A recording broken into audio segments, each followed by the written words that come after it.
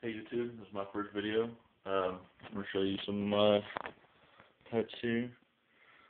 Um, my girlfriend Shauna bought this Colombian red-tailed boa. She's gorgeous.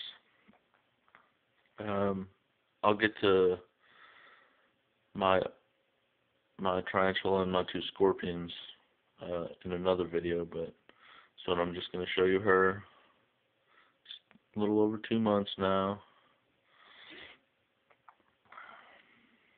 She'll reach about 10 foot long, 9 to 10 foot. But she's got gorgeous pattern. Tail. And that's Doja. He'll be in my next video. That's him right there. Alright, uh, see you again.